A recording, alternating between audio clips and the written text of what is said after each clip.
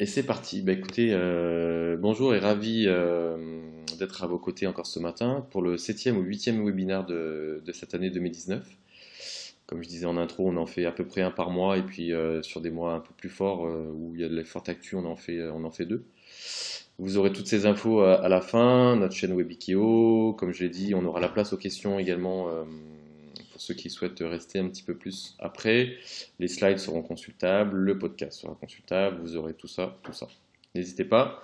Euh, le webinar euh, est interactif. Dans la mesure euh, de la quantité de questions qui sont posées, j'essaie d'y répondre en live.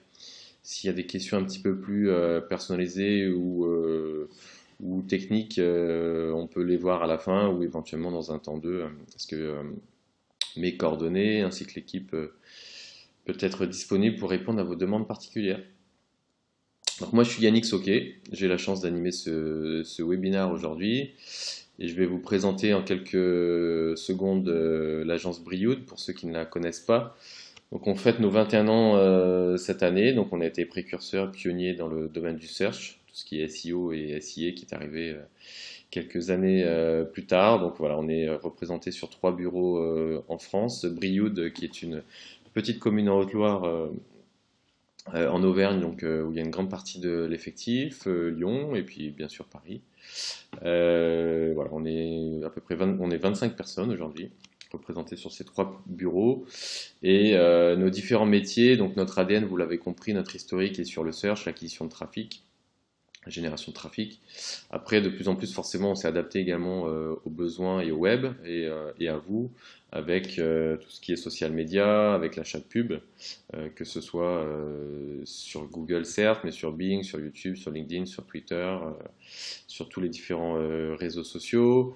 on fait également tout ce qui est emailing, SMS, l'analyse d'audience, tout ce qui est Drive to Store, et puis, et puis dernièrement, on s'est également associé avec, un, avec euh, des partenaires avec qui on bossait depuis un certain nombre de temps pour vous offrir un peu plus de, choses au niveau de l'achat média, mais pas forcément online justement. Donc euh, c'est euh, des achats médias offline comme de la télé, de la radio, de la presse, enfin tout ce qui est affichage en dehors du web. Donc pour vous offrir un panel de, de, prestations encore un peu plus large. Donc je vous en dirai un peu plus en détail si vous le souhaitez. Donc on, a l'habitude de vous mettre quelques. Je dis on parce qu'on est. Je suis pas le seul euh, à, animer le webinaire en règle générale.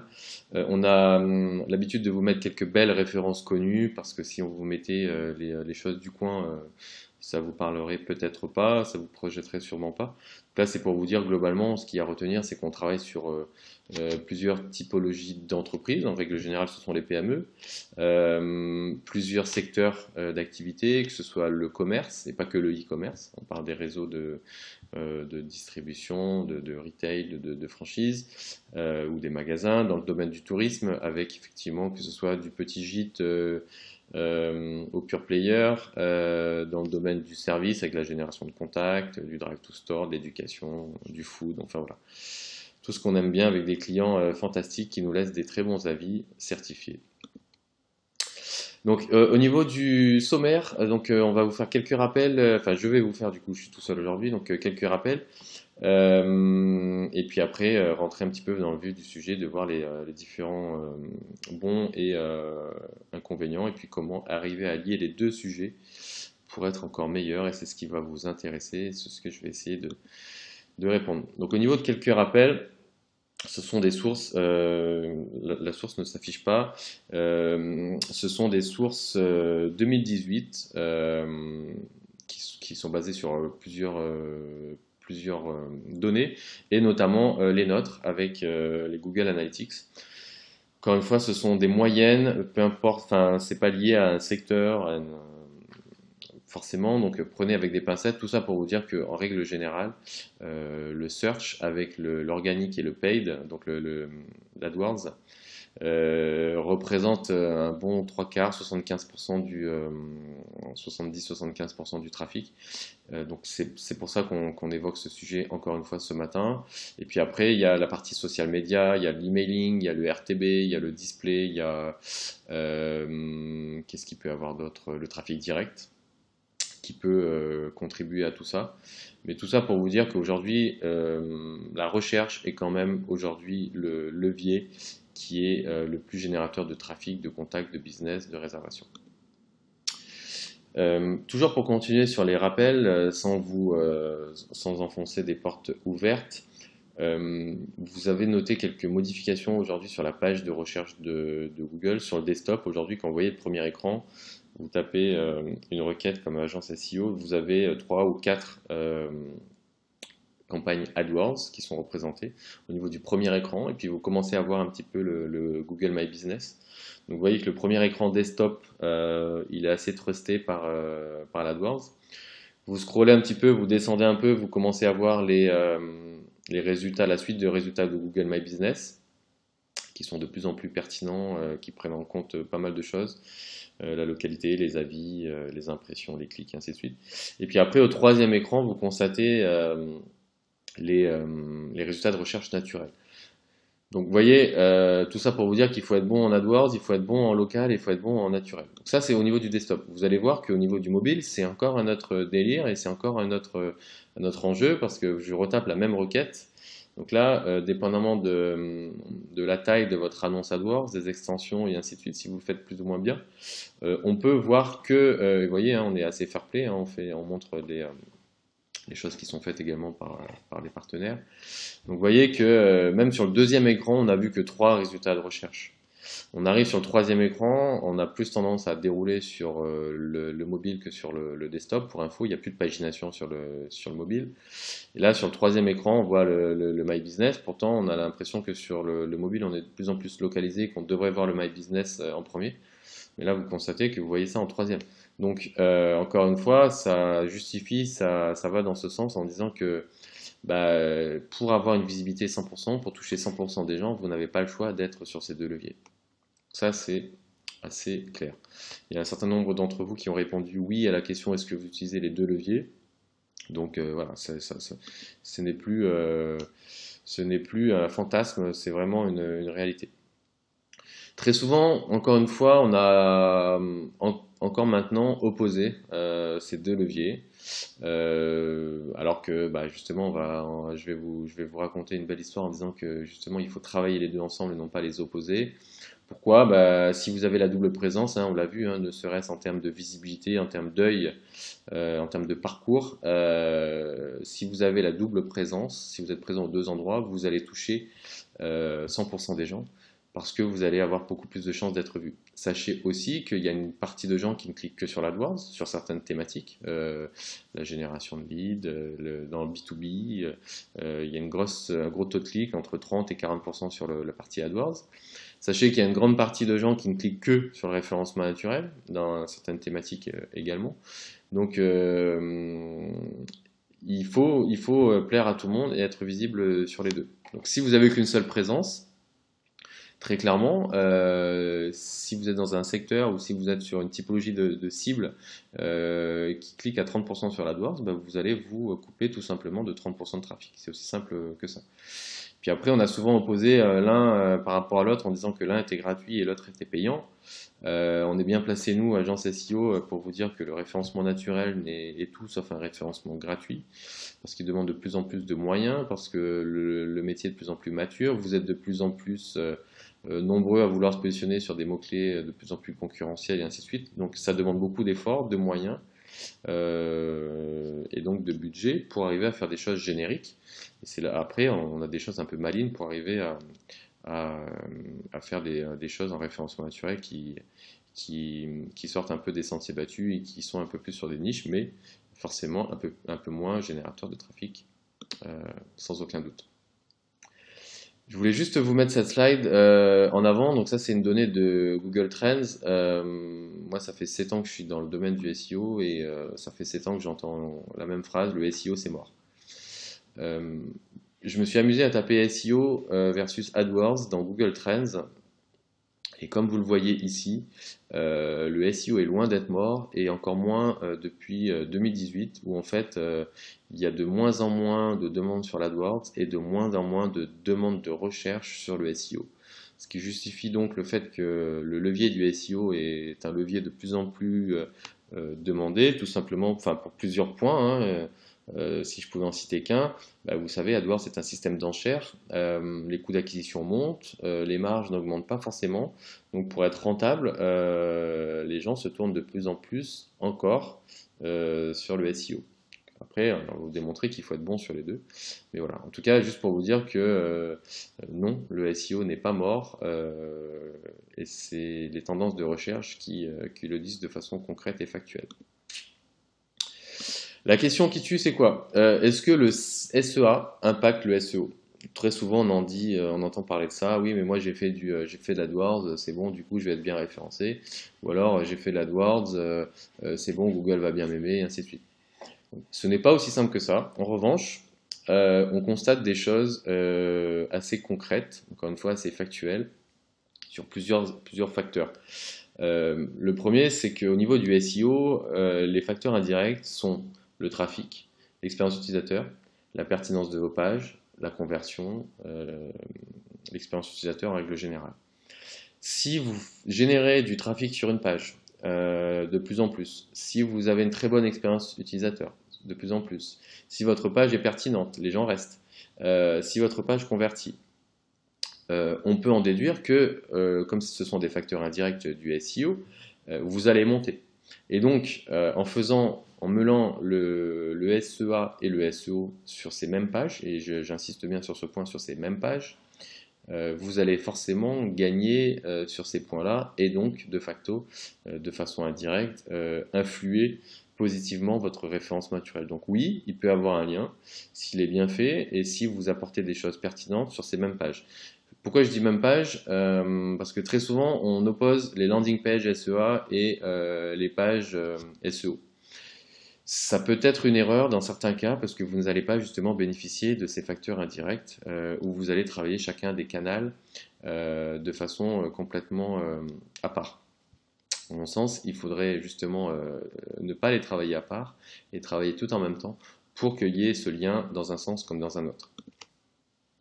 Du coup, vous allez me dire, bah, ok, mais est-ce que à l'inverse, le SEO impacte le SEA on peut aussi, on a constaté aussi pas mal de choses plutôt intéressantes, on peut arriver de façon euh, euh, assez concrète encore une fois, euh, payer moins cher son coût par clic grâce au SEO, pour plusieurs raisons. la conversion est un facteur direct du score de qualité de Google AdWords. La qualité des pages est un facteur direct du, qualité, du quality score. Et comme le quality score impacte le coût par clic, alors on peut estimer que le SEA va impacter de façon positive euh, votre SEA, notamment avec le CPC, avec euh, l'affichage, avec la position moyenne, et, ainsi de suite. Donc si vous êtes bon sur les deux et que vous travaillez les deux, euh, l'un va influencer l'autre et l'autre va influencer l'un. Ça va pour ça? Je vous ai pas perdu, vous êtes toujours là? Yes Super, merci pour la, pour l'encouragement, Marilyn. Donc, au niveau des avantages et inconvénients, euh, il y a plusieurs choses aussi euh, qu'on entend et qu'on voit et qu'on constate au niveau du SEO. Le plus, euh, c'est la qualité du trafic. C'est sûr que le SEO est en grande partie le, canal qui a une qualité de trafic euh, la meilleure en termes de, de, temps passé, de, conversion et ainsi de suite. Euh, c'est historique, c'est comme ça et on ne voit pas trop bouger. C'est le facteur, euh, c'est le levier qui assure le plus dans la pérennité, qui peut être le moins coûteux et qui peut vous donner également d'autres opportunités comme les contenus enrichis sur les avis, sur les horaires, sur les adresses, et euh, également, une chose hyper importante, c'est la recherche vocale, ou du moins euh, les questions que l'on pose euh, à Google de plus en plus sur comment, pourquoi, où, qui représentent quand même 35% des requêtes en 2018, donc hyper importante. Et donc, pour vous emmener à la longue traîne, c'est que le SEO peut vous aider de façon plus simple ou moins compliquée à vous positionner sur des mots longue traîne, sur comment bien référencer mon site, combien compte une campagne AdWords, comment utiliser Google Analytics et ainsi de suite. Ce sont des choses en termes de longue traîne aujourd'hui qui génèrent du trafic, sur lequel vous pouvez arriver à vous positionner en termes de position zéro euh, et donc repris par, euh, Google Home notamment. par Siri. Donc ce sont des opportunités hyper fortes. Aujourd'hui, on ne fait pas du SEA pour se positionner sur, des questions longue trail. Euh, en revanche, euh, les points un peu moins positifs, on va dire, ou du moins plus complexes, euh, c'est que ça demande des, facteurs techniques qui sont un peu plus forts, un travail de longue haleine. Vous le savez certainement aussi bien que moi, ce n'est pas une science exacte, donc inexacte. Ça demande un peu plus de compétences et forcément de la latence. Mais comme on l'a dit hein, sur les plus, c'est pérenne, c'est rentable et c'est qualitatif. Donc voilà, c'est un, effort qu'il faut faire et qui peut euh, s'avérer payant dans le temps. Si on compare ça avec le SEA en termes de positif et négatif, le SEA, le gros, gros, gros avantage, c'est qu'il est rapide euh, et mesurable. Donc euh, demain, vous pouvez choisir d'être visible sur un mot-clé, c'est qu'une question de, de budget. vous pouvez être visible à Lyon de 10h à midi pour les femmes et ainsi de suite. Le ciblage est hyper important, justement. On peut centrer, euh, on peut se faire un focus sur des centres d'intérêt, sur du sexe, sur la localité, sur des horaires, sur tout un tas de points euh, qui est hyper euh, qualitatif. Il y a également la notion de reciblage quand on va sur votre site web, qu'on ne convertit pas ou juste qu'on a envie de, de, remettre une bannière ou du search ou du Facebook et ainsi de suite. On peut arriver à recibler tout en payant les différentes régies. Donc ça, c'est hyper, hyper positif. On peut également se mettre euh, des plannings en disant je vais être visible que du lundi au jeudi. Euh, c'est hyper tangible parce qu'on peut euh, tout de suite voir la chose, on peut tout de suite mesurer. Et également, euh, si j'avais un dernier truc à dire sur le côté positif du, euh, du SIA, c'est euh, la différenciation des emplacements. Il y a certainement du search, les mots-clés, mais il y a également du display, il y a du Google Shopping, il y a les régies natives, il y a du YouTube, il y a du RTB qui peut rentrer dans d'autres régies que, que, Google.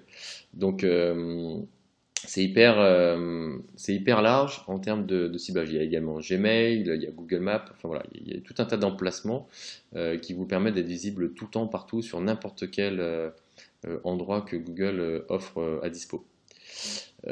si on a opposé certains points négatifs ou moins bons, on va dire, le trafic est un peu moins qualifié, on l'a dit tout à l'heure. Il peut s'avérer coûteux, mais s'il est rentable, ce n'est pas un souci.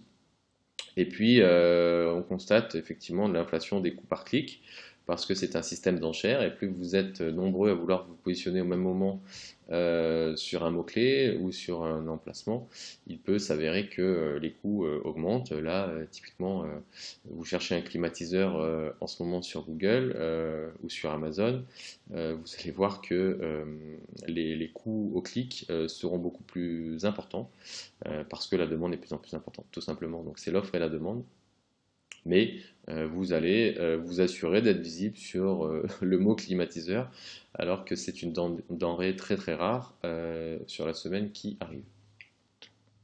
J'ai réussi à placer quand même la notion de canicule, j'en suis, suis ravi.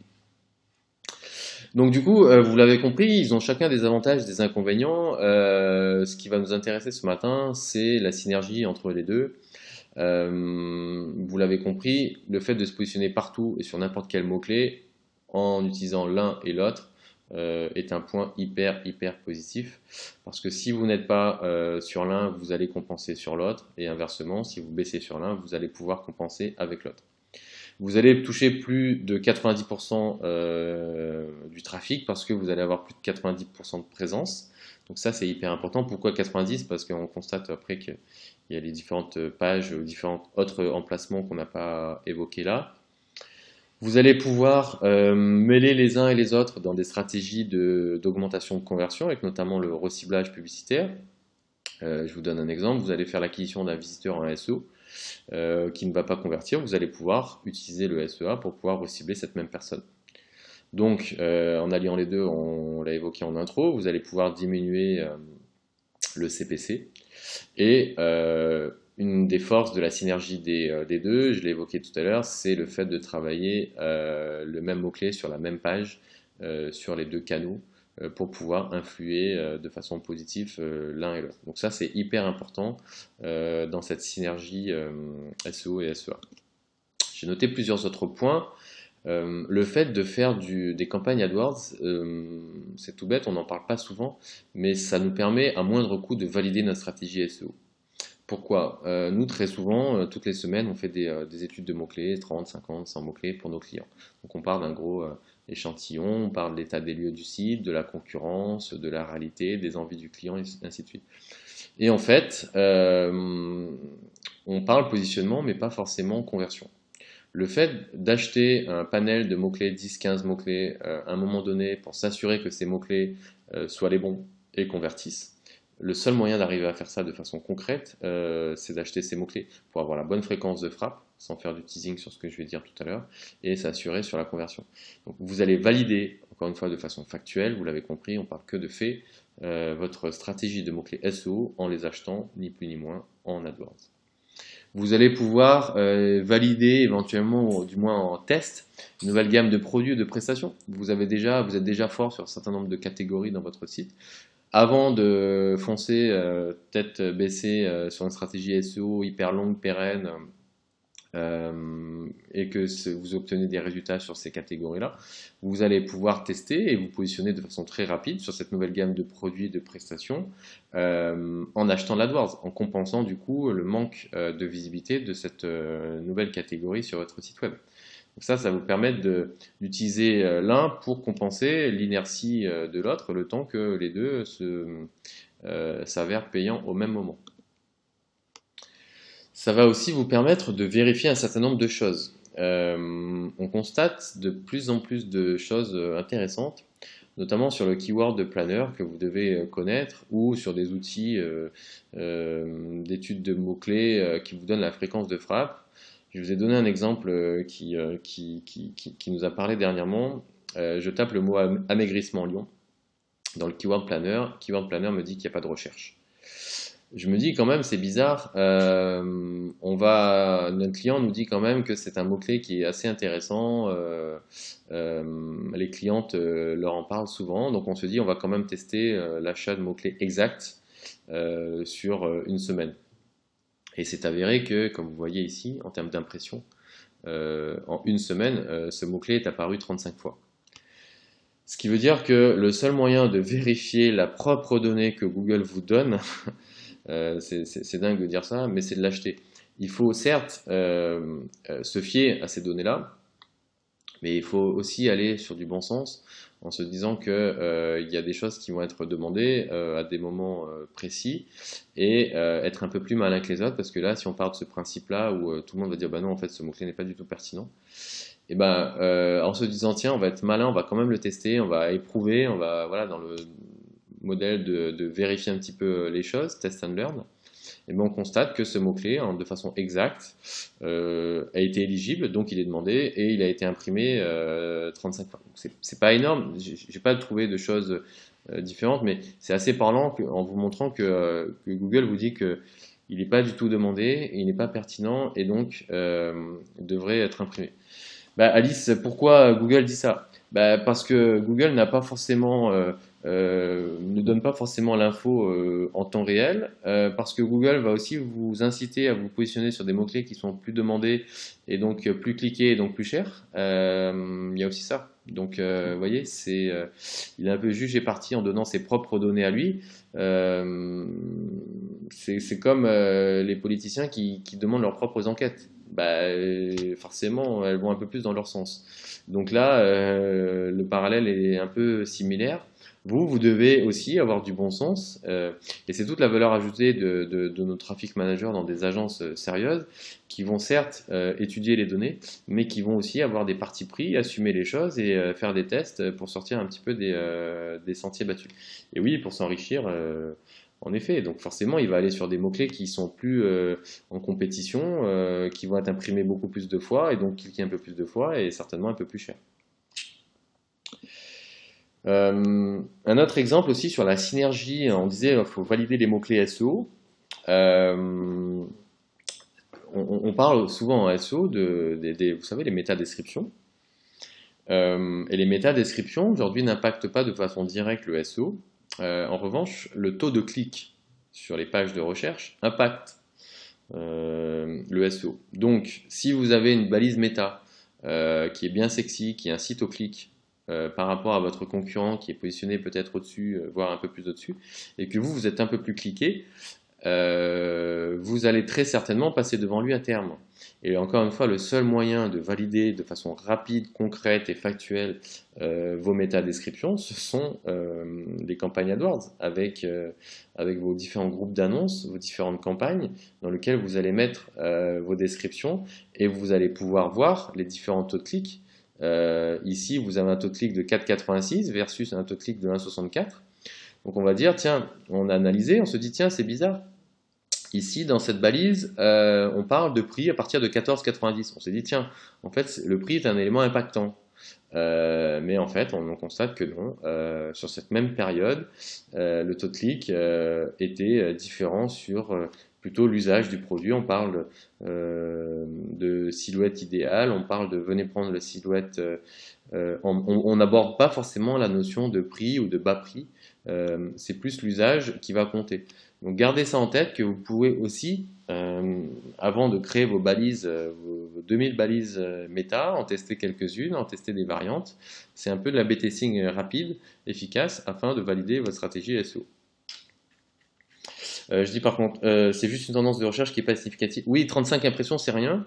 Par contre, la fréquence de recherche indiquée par le Keyword Planner est de façon mensuelle et 35, c'est de façon hebdomadaire.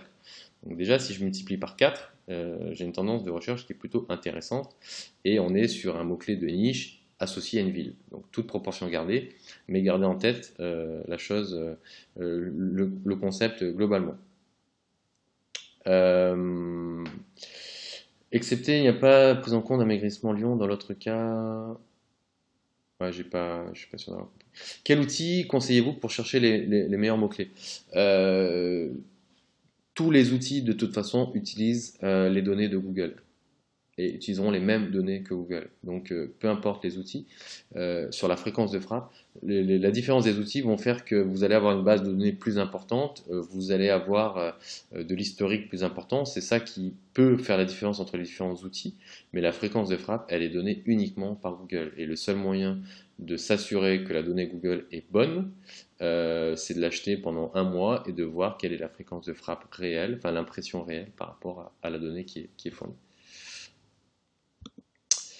Euh, quatrième point, euh, ça va vous permettre d'améliorer son UX, voire sa structure de page.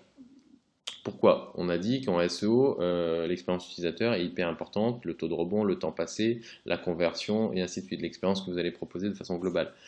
Euh, là, euh, sur Google AdWords, vous avez euh, la possibilité de voir la convivialité de la page de destination. J'ai flouté là volontairement les mots-clés, mais ce qui vous intéresse, c'est la convivialité de la page de destination. C'est une des colonnes qui est disponible une campagne AdWords.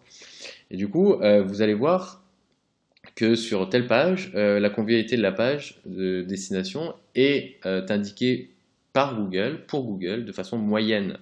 Et ça, euh, hormis utiliser votre Google Analytics, de faire des tests, de, l'A-B testing et compagnie, ça va être assez difficile d'obtenir de façon très rapide euh, cette information. Donc là, vous allez euh, aller sur cette page-là, vous allez dire, tiens, bah, il me manque effectivement peut-être de la structure, peut-être des H1, des H2, mon contenu n'est pas assez structuré. Donc ça peut être en termes de SEO, ça peut être en termes de, euh, d'enrichissement du contenu, pas assez d'images, pas assez de vidéos, pas assez les informations. Donc vous voyez, ça va vous permettre aussi de vous concentrer euh, au niveau SEO sur votre expérience utilisateur pour voir si votre page euh, de destination qui, comme je l'ai dit, doit être la même en SEO ou en SEA, et bien donc du coup améliorer l'expérience utilisateur globalement de, cette page-là. Donc ça c'est hyper sympa et c'est un petit truc et astuce qu'on n'utilise pas, enfin en règle générale les gens n'utilisent pas assez pour approuver euh, l'UX de votre page via Google AdWords et donc le travailler de façon euh, globale sur le, sur le site au niveau euh, SEO.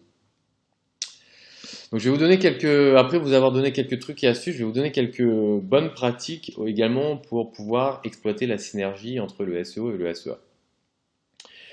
Donc, vous l'avez, je vous donne, on, on, prend tout le temps cet exemple chez nous d'exploiter le ventre mou vous voyez ici, vous avez une capture de la ventilation des mots-clés page par page, page 1, page 2, page 3, page 4, page 5. En règle générale, on constate euh, effectivement qu'une grande majorité des mots-clés sont situés en SEO, en page 2 et en page 3. Vous allez euh, vous constater ces, ces choses-là, vous allez mettre en place des choses en termes de SEO, et on l'a dit tout à l'heure, il y a éventuellement peut-être une inertie, ou alors les concurrents n'ont pas attendu également pour le faire, donc vous allez avoir de la difficulté à monter. Et donc, bah, le fait d'avoir détecté ces mots-clés sur lesquels vous êtes plus ou moins bon en, en SEO, et de les acheter euh, en SEA euh, va vous aider euh, peut-être à, remonter et puis surtout va vous aider surtout à capter ce volume de trafic qui est hyper important. Je vous donne un exemple ici, un mot-clé qui est demandé 12 000 fois, le vacances camping, vous êtes en, en bas de page 2, il est demandé 12 000 fois. Donc euh, certes, vous allez détecter et euh, mettre en place un plan d'action euh, sur cette page, sur le site, certainement. Mais en attendant ça, il ne faut pas se couper de cette opportunité qui est hyper importante. Donc là, en plus, on est dans le domaine du tourisme, on est dans la période hyper forte. Donc le fait de, compenser le SEA avec le SEO quand vous n'arrivez pas à vous positionner sur des mots-clés qui, qui, est hyper générique, parce qu'il ne faut pas se leurrer, hein, il y a des mots-clés hyper génériques sur lesquels vous n'arriverez pas à vous positionner. Le SEA est le seul moyen euh, pour arriver à se positionner sur ces mots-clés-là. Donc ça, c'est hyper euh, intéressant. Euh, deuxième cas également, c'est, je l'ai dit tout à l'heure, de valider les mots-clés avant de travailler durement votre SEO. Donc là, j'ai un exemple de mots-clés vous allez pouvoir voir le taux de conversion euh, de ce mot-clé-là associé à la page. Donc si vous avez des mots-clés qui convertissent à 1% versus des mots-clés qui convertissent à 10%, euh, je pense qu'en termes de SEO, vous pouvez pouvoir vous concentrer en termes de priorisation euh, sur ces mots-clés-là, parce que tant en termes de taux que en termes de quantité, vous allez voir que ces sites-là sont hyper, ces mots-clés-là sont hyper euh, concret sur la conversion. Donc ça, euh, encore une fois, ne pensez pas euh, que ce mot-clé-là est bon, constatez-le avec la stratégie d'achat. autre point, c'est de travailler aussi les mots-clés au, niveau des silos. on, regarde, on regarde très souvent le, le tunnel de conversion en termes de canal. Est-ce que le SEO a contribué à ma conversion dans une campagne AdWords? Est-ce que l'emailing, et ainsi de suite En revanche, on regarde très peu le chemin de mots-clés sur Google AdWords. Et il vous donne ça. Il vous donne euh, le premier mot-clé, le deuxième mot-clé. Donc ça peut vous aider également à se dire, bah tiens, mon premier mot-clé, ça a été celui-là, mais mon deuxième mot-clé, ça a été celui-ci. Et celui-ci, euh, je suis, euh, il est peut-être un peu plus longue traîne, et j'ai peut-être des opportunités à travailler en page 2 sur ces mots-clés-là. Donc c'est hyper intéressant. Je me dis, bah, effectivement, peut-être que le mot-clé filet tout court, euh, trop compliqué. En SEO, euh, par contre, euh, les mots-clés associés à filet autour, vous allez avoir un peu plus de, de chances de vous positionner en SEO. Et donc, via ce chemin de mots-clés Google AdWords en termes de conversion, encore une fois, va vous permettre de travailler vos différents silos SEO et donc, encore une fois, de, travailler ces silos SEO sur des choses concrètes. Ça, c'est un, truc qui est hyper, hyper euh, intéressant. Euh, là, on peut faire confiance à Google, oui, parce que Google euh, vous donne ce chemin assez précis là-dessus, parce que vous avez les conversions en face. Donc oui, euh, le nombre de conversions, ça c'est sûr, vous pouvez le vérifier dans, vos commandes, dans votre chiffre d'affaires. Donc euh, oui, ça, il ce n'est pas que Google qui le fait, parce que derrière une conversion, c'est un lead, c'est un formulaire, c'est une une, euh, c'est une vente. Bah, ces silos, c'est dans le, tunnel de, conversion de Google AdWords. Vous pouvez le retrouver également dans Google Analytics. c'est un, filtre que vous voulez mettre sur le canal ou, ou les différents mots-clés. Euh, on l'a dit aussi tout à l'heure, de faire venir du trafic euh, rapidement, mais aussi de pouvoir vous permettre de valider euh, l'ergonomie, l'expérience utilisateur des différentes pages. Donc, notamment sur le mobile first, supposons que vous êtes dans un secteur d'activité qui est très demandé sur le mobile. le fait de faire des campagnes AdWords rapides, accentuées sur le mobile de par la localité, de par euh, le secteur d'activité, en ce moment le tourisme euh, et ainsi de suite, va vous permettre de faire des tests ergo rapidement pour valider une page, la structure de cette page, le visuel de cette page, tout de suite, euh, par rapport à ce qu'on a vu tout à l'heure, la convivialité, la conversion et ainsi de suite. Vous allez créer deux pages euh, ou deux campagnes et aujourd'hui avec l'intelligence euh, de Google, il va tout de suite prendre la meilleure page et la meilleure annonce et donc vous pouvez pouvoir constater l'ergonomie de la page et la meilleure méta qui va vous permettre. Je ne comprends pas. Au fait, à partir de la semaine prochaine, pour attirer mon attention, j'ai Google Home qui s'est mis en place. Je vous le rappellerai dans quelques jours. J'ai dit OK Google, du coup il s'est mis en, mis en, place. Euh, best practice également, c'est d'arriver à euh, travailler euh, le cercle vertueux, d'exploiter tous les, tous les leviers. Je vais vous l'imager tout à l'heure. on l'a vu que le trafic SEO est celui qui est le, le, canal le plus, plus important. Donc peut-être que vous ne, voulez pas faire de l'acquisition via le SEA, mais peut-être faire que de la conversion via le SEA. Donc je vous donne un schéma euh, simple qu'on utilise euh, rapidement dans nos segments, dans nos listes d'audience d'analytics, c'est de capter le, trafic SEO qui a fait une ou plusieurs visites et qui n'a pas converti. Et euh, cela, euh, via une zone de chalandise éventuellement aussi, on peut y mettre pas mal de paramètres, euh, sexe et ainsi de suite, de le recibler tant sur des mots-clés, parce qu'on peut également faire du reciblage en search, ou en display, ou en Facebook, en YouTube et ainsi de suite, afin de générer un élément de réassurance, une promo, une information importante, concurrentielle, pour le faire convertir. ça, c'est un cercle que vous pouvez garder en tête qui est assez, euh, qui est le moins coûteux et le plus générateur de, conversion pour transformer votre prospect en client. Euh, parce que si, il y a un exemple, euh, les soldes attaquent demain. Vous le savez sûrement, les soldes attaquent demain. Donc un certain nombre de e-commerçants sur lesquels on a travaillé, on a fait beaucoup d'acquisitions sur les pages de marque, les nouveautés, sur les pages soldes 2019 été et ainsi de suite. Donc on a déjà généré un certain nombre de, trafic euh, qualifié sur ces pages-là. Sauf qu'après, bah, euh, en attendant les soldes, on se fait oublier. Et Google Shopping, euh, typiquement pour les soldes, on peut faire un reciblage spécialisé sur Google Shopping, sur les produits qui ont été consultés auparavant. Et maintenant, quand on va retaper le produit chaussures Stan Smith qu'on a visité il y a une semaine sur notre page en question, et bien là et seulement là, pour les gens euh, qui ont uniquement visité auparavant, on va leur afficher notre annonce Google Shopping. Donc on ne paye que pour ceux qui nous connaissent déjà qui sont déjà venus chez eux. Donc ça c'est hyper intéressant euh, dans euh, une stratégie de, solde notamment. Et enfin, utiliser la recherche vocale, utiliser les positions zéro, utiliser les questions longue traîne pour convertir également. Je vous donne un exemple ici d'un client qu'on accompagne dans le domaine de la finance.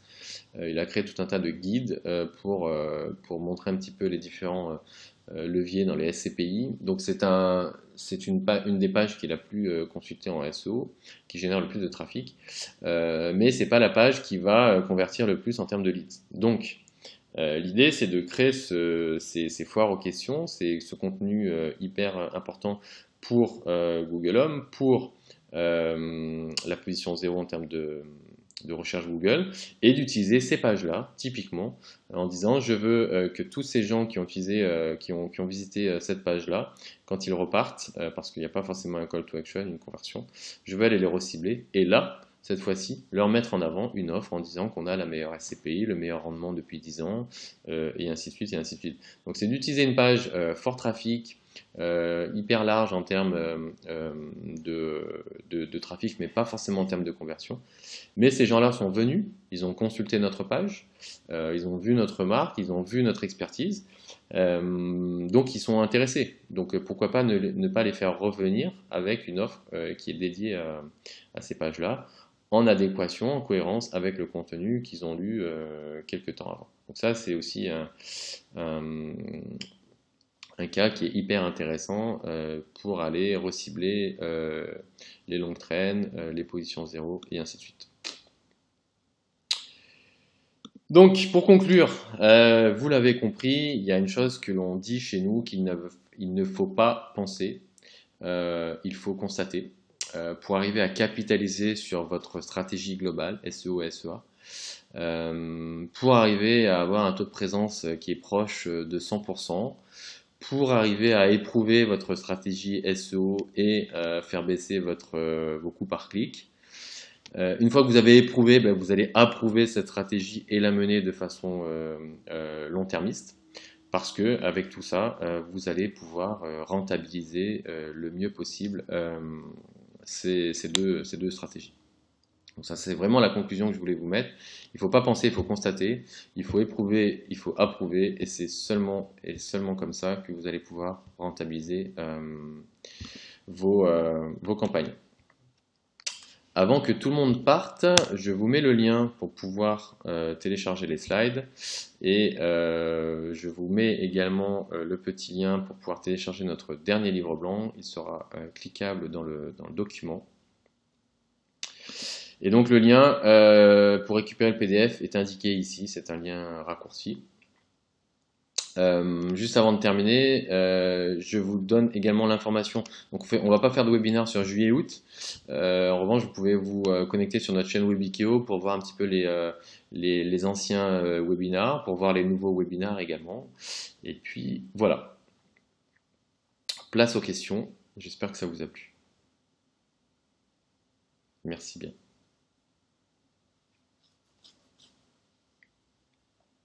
Dites-moi, dites-moi. Est-ce qu'il y a des choses intéressantes? Bah écoutez, c'est moi qui vous remercie, merci beaucoup. J'attendais plus des questions, mais euh, merci beaucoup. La longue traîne, c'est le fait euh, d'avoir une expression qui est composée plutôt de 3 ou 4 ou 5 mots, plutôt que euh, un ou deux mots. Des expressions plus longues.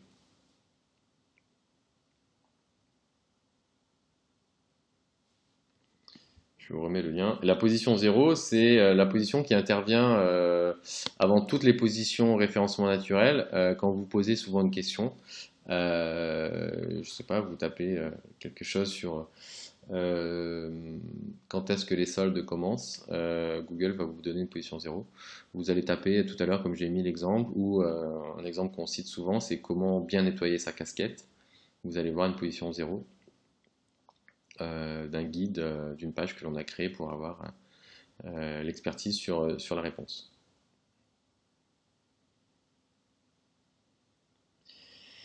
Si les CPC sont très élevés, il peut être intéressant de cibler celle-ci. C'est cibler l'entraîne, oui. En revanche, on a plus l'habitude de travailler la longue traîne sur le SEO que sur le SIA.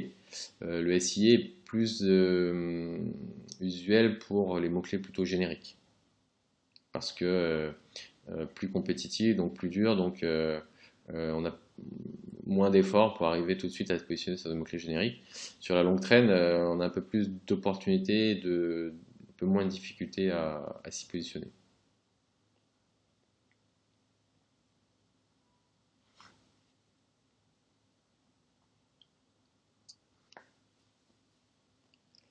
Est-ce que vous avez d'autres questions? N'hésitez pas, hein, vous avez les coordonnées. Euh, euh, je peux vous mettre effectivement en relation avec des gens qui peuvent euh, auditer votre site SEO de mon équipe, auditer vos campagnes AdWords. Donc tout ça, ce sont des choses que l'on doit faire nous en avant-vente pour arriver à, comme on l'a dit tout à l'heure, hein, à vous prouver qu'on va détecter des pistes d'opportunité et qu'on va faire mieux que ce que vous faites actuellement. Euh, donc n'hésitez pas à nous solliciter euh, via un petit mail ou via le formulaire de contact du site web euh, à dire tiens je souhaite bénéficier d'un audit gratuit avant, avant vente donc n'hésitez pas.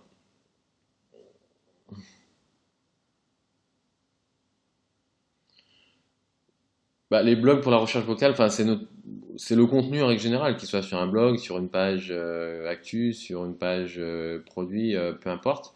mais en tout cas, oui, il faut une partie contenu sur le site web pour pouvoir raconter une autre histoire sur les produits, sur les services, sur les usages des produits, non pas que du produit en lui-même.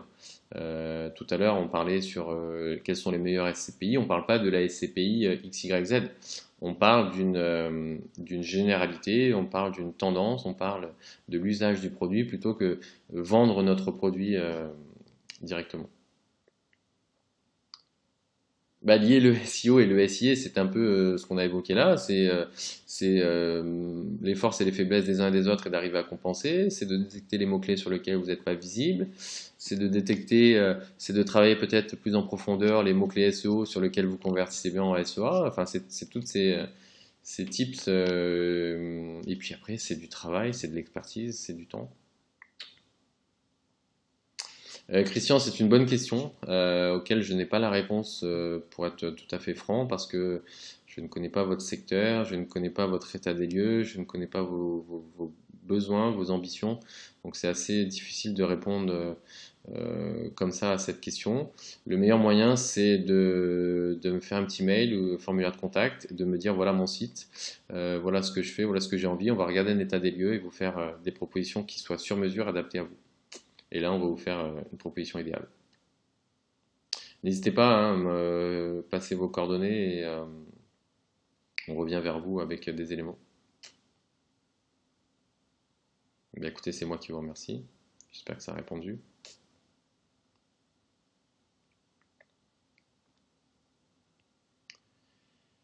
Euh, où peut-on trouver l'évolution du coût CPC sur AdWords pour le mot pizza par exemple? Ben, En achetant le mot, euh, avec l'historique de votre compte, on peut voir ça. Euh, après, tout de suite, en, n'ayant pas acheté vous le mot-clé, euh, ça sera difficile d'avoir l'évolution du, du, CPC. On a l'évolution des tendances de recherche. Je suis pas sûr qu'on puisse, si on n'a pas acheté le mot-clé, avoir l'évolution du CPC. Sur plusieurs années, oui. Dans votre compte AdWords, vous pouvez voir vous pouvez voir l'évolution du, euh, euh, du coût. De toute façon, vous savez qu'à un moment vous l'achetez 0,50 et que, et que deux mois après vous l'achetez 0,70. Donc, donc oui. Nous, avec, on fait des, des reportings sur les mots-clés, mois par mois, que l'on historise, et donc on peut voir cette, cette information-là. Euh, sur un mot-clé précis, comment arriver à passer devant sur tous les sites de vente de conseils d'achat pour remonter en page 1 Les sites de vente et de conseils d'achat euh, qui sont très bien positionnés en SEO, euh, j'ai envie de vous dire, testez en SEA euh, pour vous assurer d'y arriver. Certains mots-clés précis, comme vous dites, vous avez l'air de dire, ça, ça, a l'air d'être des mots-clés génériques. Il ne faut pas se leurrer, il y a des mots-clés génériques sur lesquels en SEO euh, dépendamment de votre état des lieux, de votre historique, euh, de votre euh, marché, ça peut être difficile. D'où la synergie, d'où l'utilisation des deux leviers. Ben, merci.